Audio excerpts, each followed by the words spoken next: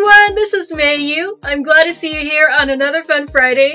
Every Friday, I try to do something new, fun, or challenging. Thank you all so much for your clever name ideas in my previous combined video, and also thank you for sharing your sibling stories. Some of you have been asking for another role swap challenge. So today I'm going to be doing part two of this series and I'm going to turn uh, Ariel, the Little Mermaid, and Ursula into like uh, their opposite roles. So I wonder how Ariel's gonna look like as the villain and Ursula as the good guy. In case you haven't, you can check out part one of this series on my Mei Yu channel. When I was sketching out the concept uh, for this design, I was thinking about how am I going to handle Ariel's facial features because uh, normally, like traditionally, you know, villains in um, in animated movies they tend to have harder, harsher, more jagged lines and points, and the heroes, especially if she's like a young, beautiful princess, she's gonna have like softer lines in her face. So I wanted to turn all of Ariel's like soft, friendly looking lines into harder looking lines, but I didn't want to make her look um, older. I tried to make her still look around the same age. I also wanted to add a few more like extra details here and there, like with the fins around her ear.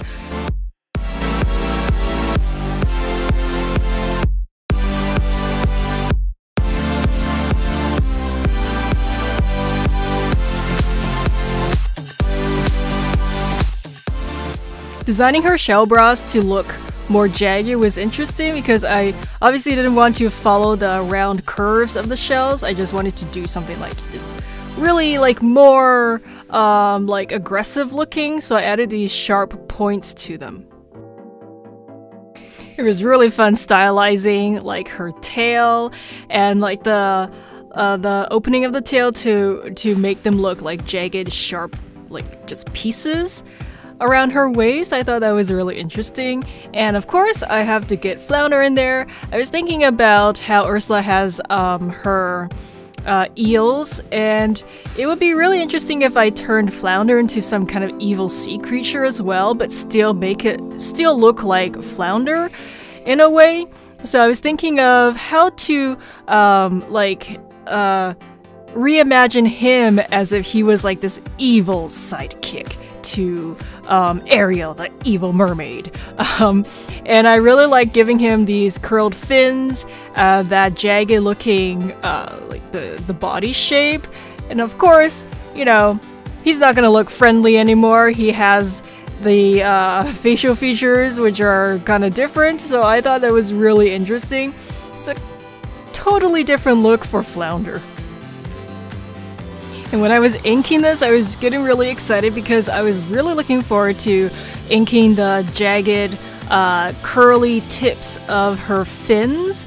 I think the fin design that I made uh, is interesting because it's not something I'm used to seeing on, well, of course, Ariel or any kind of nice looking mermaid.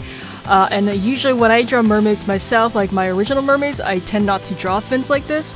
So it's nice to try something different, and I think the like the um, uh, the curled tips remind me of these large skeletal like fingers. It's just this like this slightly creepy element in this design that I really like.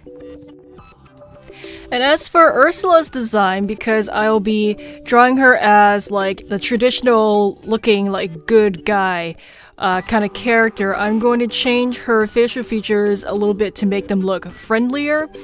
I decided to design her features to include her eyes that are uh, like a lot bigger and friendlier looking. The pupils are a lot bigger inside the eye, and I didn't want to emphasize the hooded like um, eyelids that she had before because I do think they are kind of sinister and scary looking. So I redesigned her face to make it look like you know, she could be the good guy in this story. And for my own artistic touch, I did want to include that little little curl at the end of her hair on top. I think it's really cute. Thank you all for using the hashtag um, MeiYuArt for sharing your photos of your masterpieces you made with my coloring books, Garden of Dreams, Pop Culture Reimagined, and Gothic Cuties. I'm so happy and so proud of all of you. It's really interesting to see how differently line art can look like when, you know, you add different color schemes and mediums. I'm in love with your artwork. Keep up the good work, everyone. Keep coloring and keep sharing your wonderful creations.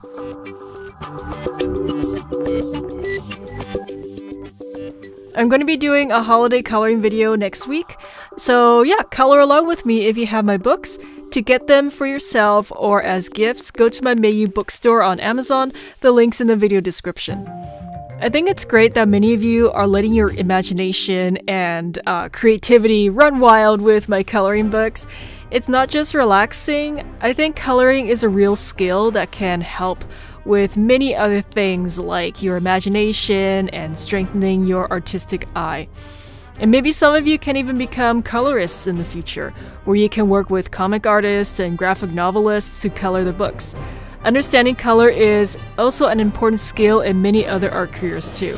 So keep coloring everyone, keep sharing them. I love to see your new creations. And speaking of coloring, when I was deciding on the types of colors that I wanted to include in my piece, I was thinking about giving my Ariel design darker colors because usually villains they tend to have darker colors. And as for my Ursula design, I wanted to give her uh, colors that were a little bit brighter than what I'm used to seeing her in.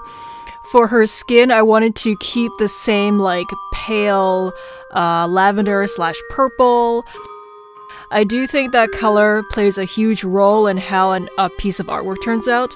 It sets the mood and the tone, and I just think, you know, experimenting with colors is really like it. For me as an artist, it's one of the big areas that I just love to let my imagination run wild. I really like how I designed my good Ursula to have, uh, like, her tentacles aren't so long or scary looking. They look more friendly, they look shorter, and I wanted to kind of pair that friendly look up with colors that are not so severe. So for the body of Ursula, I was trying to go in a direction that I felt would make sense for a good guy to have. Of course, not all good guys in pop culture would have like nice bright colors and not all evil characters have dark colors. But basically, I was looking at what Ariel and Ursula were originally designed as, and I wanted to kind of change the color schemes to fit this challenge. For my Ursula design, I didn't want to rely on all uh, like different shades of purples, so I thought it would be interesting to add some pinks in there just to brighten things up a bit. I'm glad many of you are getting my ebooks to learn how to draw and develop your artistic skills with. Recently, I've launched my ebooks on Kobo. You can search Mei Yu Art on Kobo to find my ebooks. All the download information for Kindle, Kobo, Android, and Apple are in the video description. Because I didn't want my Ursula's dress or the body to look like uh, the exact same like tone as her skin, I wanted to add some darker purples to the top part. It's darker, but it's bright, so I felt it could still look like uh, it's part of a good guy design. And then as I went down, I kind of blended it with the pink, and I just love how the two colors merged together.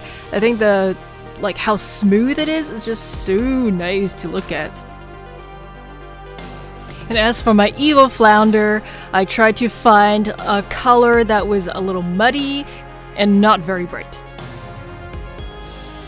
I still remember watching The Little Mermaid when I was really young and just becoming so in love with mermaids in general.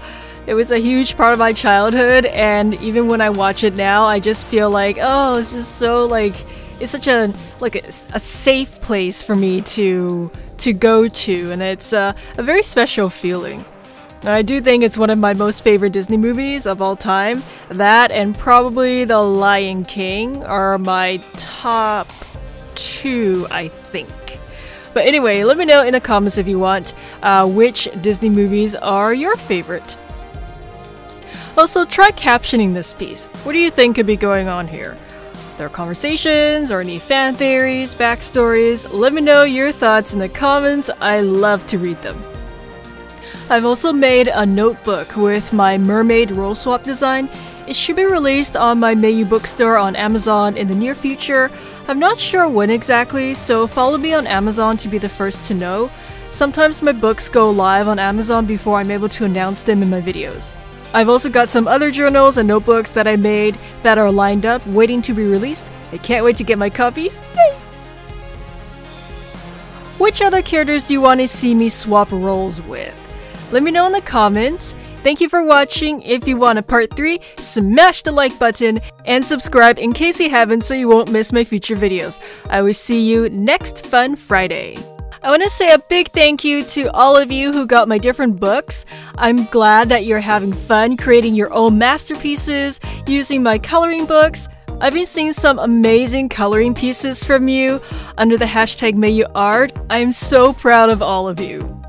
Also, thanks for getting my first art book. I hope my collection of my hand-drawn, full-colored art from my reimagined videos can give you lots of inspiration. For those of you who are learning to draw using my ebooks and workbooks, keep practicing and you will get better. The more you draw, the better you draw. There are over 50 books now on my Mei Yu bookstore on Amazon, all in one convenient place. The link is in the video description. See you next week. I've got another exciting Fun Friday video planned. Till next time.